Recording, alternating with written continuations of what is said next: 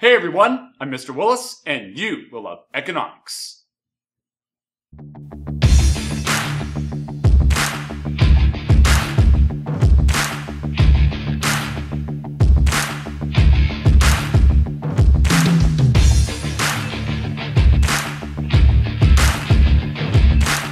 The United States, Japan, Mexico, and Canada are all open economies that trade with each other. As trade partners, these nations import and export goods and services, labor, financial and physical capital, natural resources, technologies, and disposable income. You know, pretty much everything included in either the current or capital accounts. However, each of these nations uses a different currency from the others.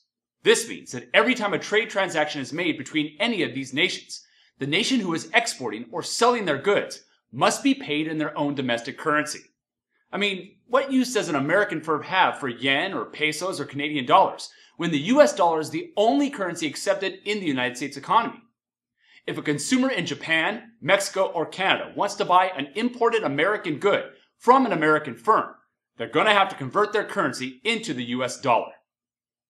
If a trade transaction requires consumers to convert one international currency into another, the conversion of currency will take place in the foreign exchange market.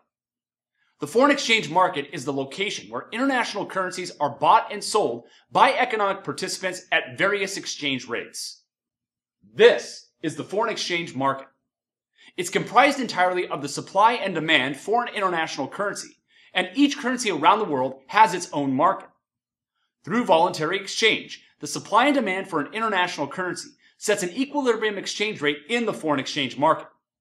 This rate is the price at which one currency can be bought with another. Changes in either the supply or demand for a currency will change the exchange rate in the foreign exchange market, which impacts the value or international purchasing power of the currency, the price of imports and exports, and ultimately affects a nation's trade balance. Before we analyze the foreign exchange market, let's take a closer look at exchange rates. The exchange rate is the price at which one international currency can be exchanged for another. In essence, it tells us how many units of one currency is needed to buy a single unit of another. A currency's exchange rate also tells us the value of that currency compared to other currencies in the open global economy. For example, let's compare the US dollar and the British pound. Suppose the exchange rate for one British pound in the foreign exchange market is 2 US dollars.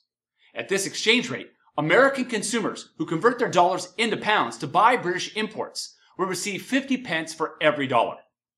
This means that imported goods from Great Britain are twice as expensive for American consumers as they are domestically for British consumers. If a British car is sold for 20,000 pounds in the open global economy, American consumers will actually pay $40,000 after they convert their dollars into pounds at the current exchange rate. By contrast, British consumers who convert their pounds into dollars to buy American imports will receive $2 per pound at this exchange rate.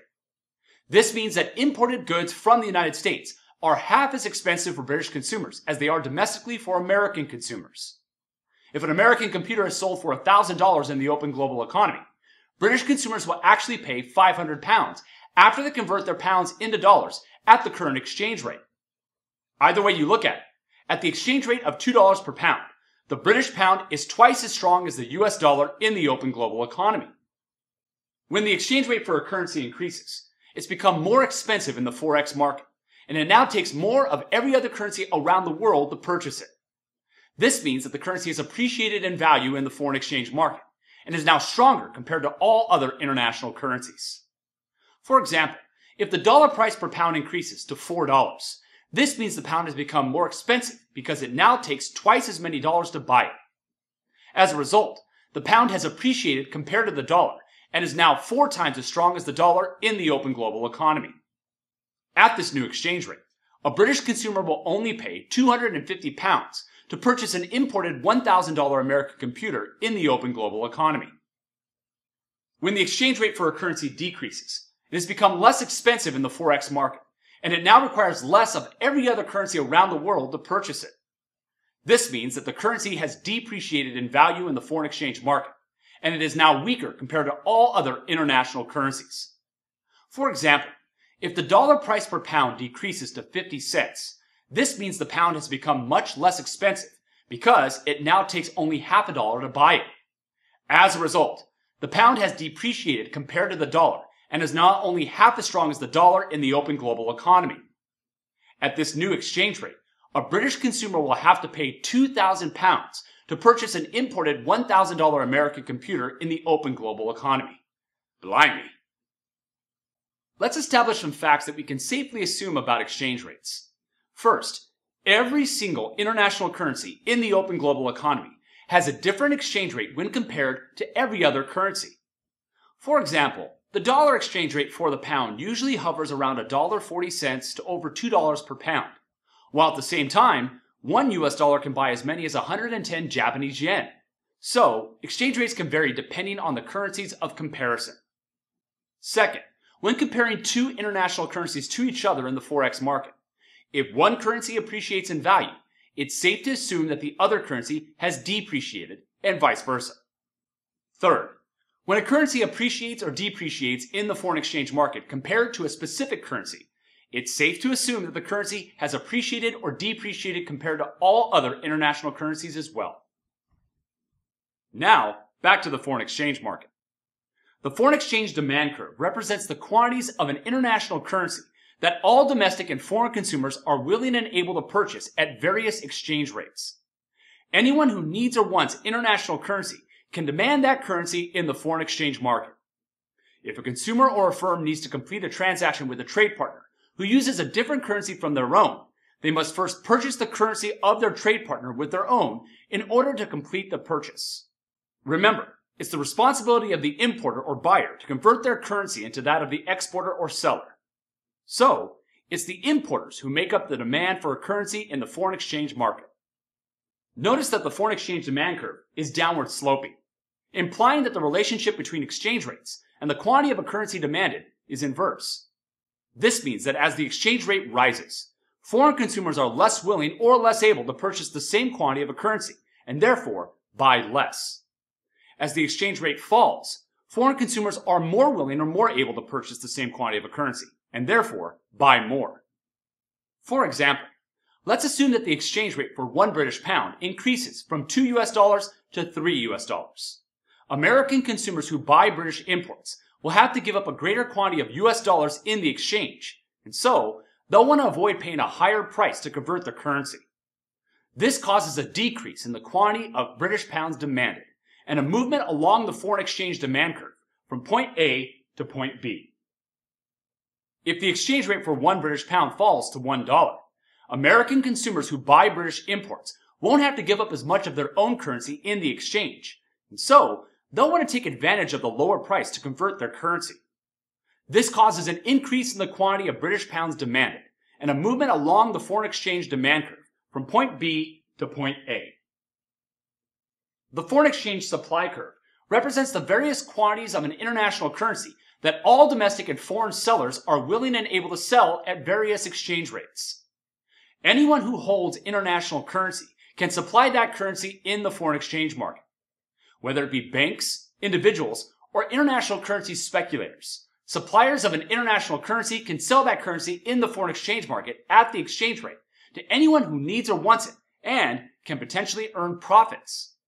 For example, if I'm a currency speculator and I buy Russian rubles at a very low exchange rate, I can wait until the value of the ruble rises on the foreign exchange market and then sell my rubles for a profit.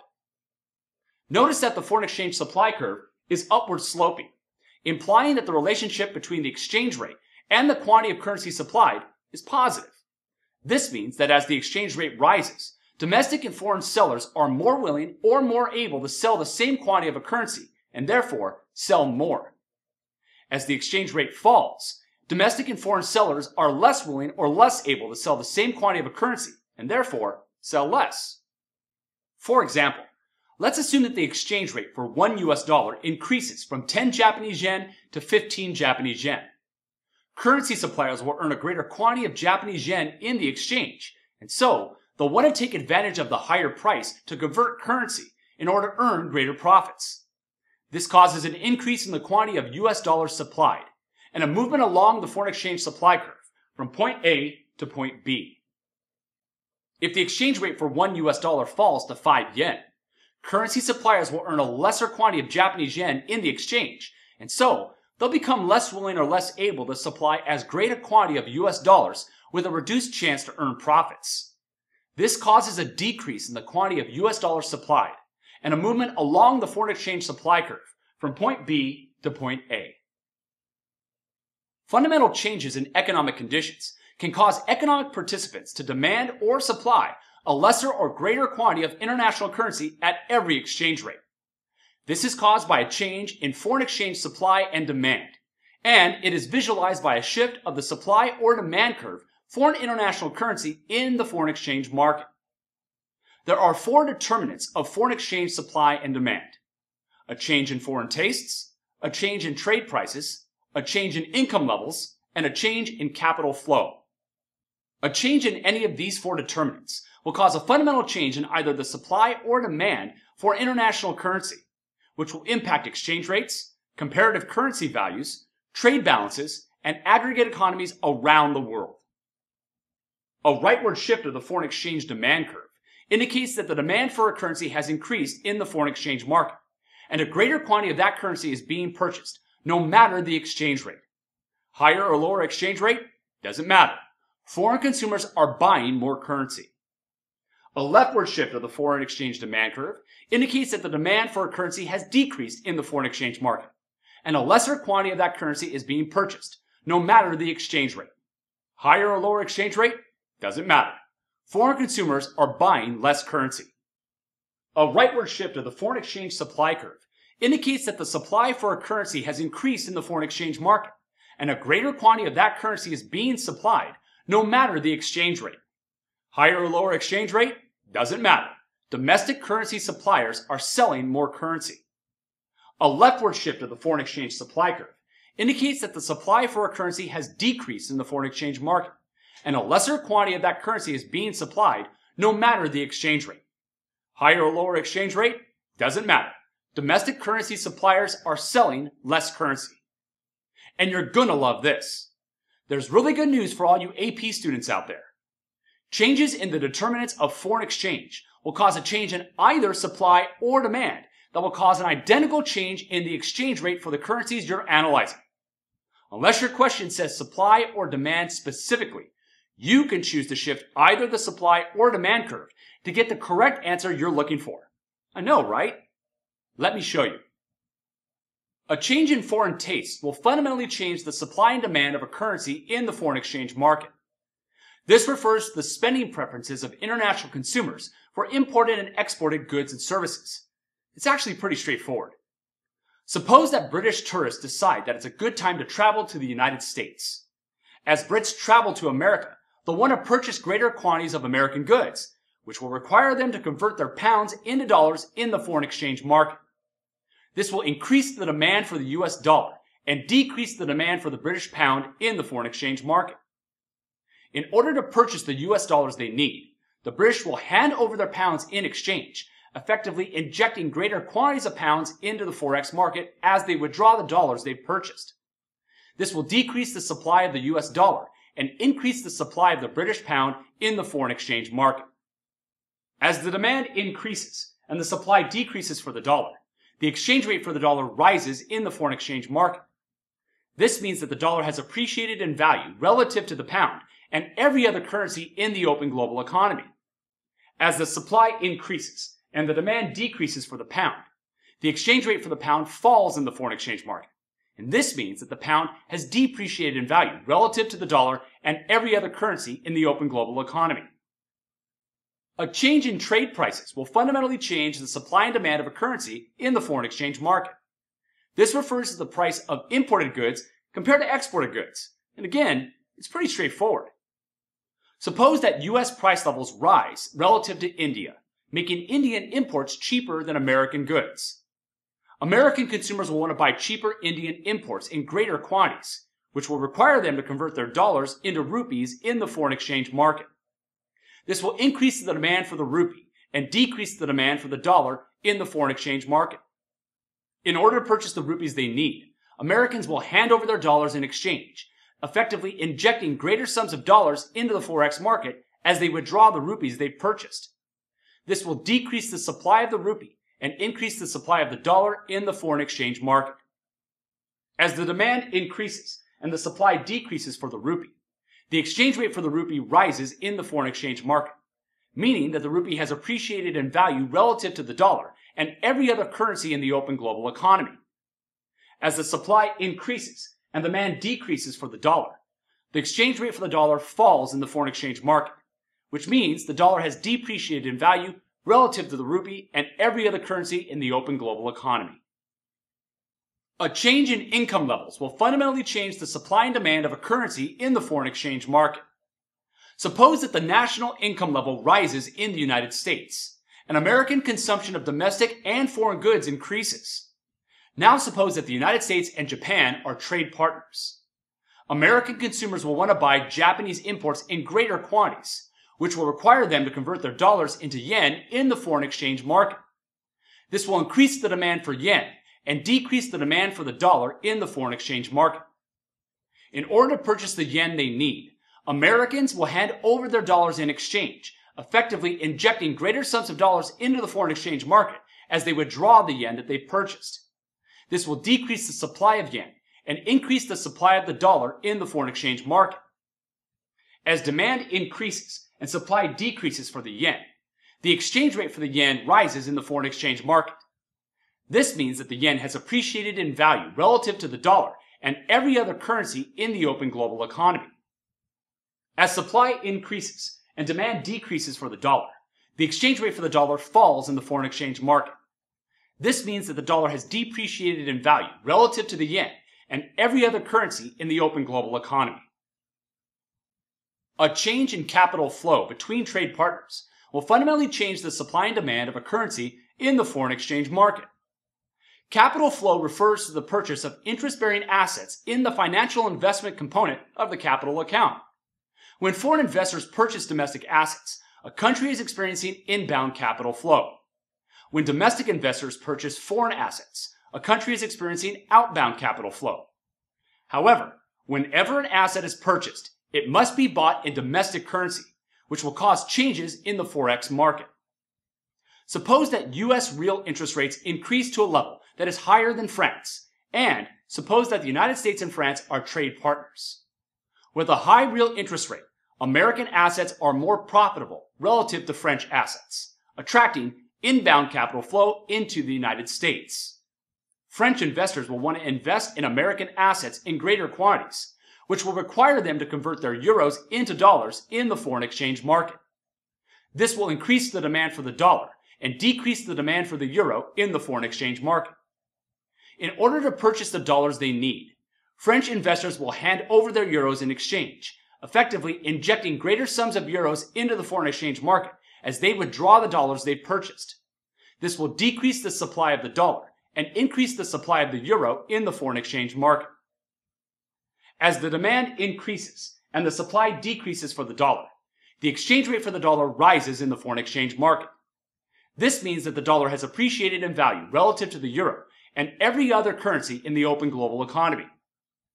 As the supply increases and the demand decreases for the euro, the exchange rate for the euro falls in the foreign exchange market. This means that the euro has depreciated in value relative to the dollar and every other currency in the open global economy. And that's the foreign exchange market. Be sure to subscribe to the channel by hitting the red button below so you can receive alerts about new videos when they become available. If you enjoy the channel or find my videos useful, let me know by liking the video and feel free to leave a comment below. We have full video lectures on every topic in macro and microeconomics, as well as quick macro and micro minute videos for cram sessions and quick reviews. If you'd like to learn more, you can click here for my International Capital Flow video, or you can click here for my macro minute video on fixed and flexible exchange rates. Thank you so much for watching. I'll see you next time on You Will Love Economics.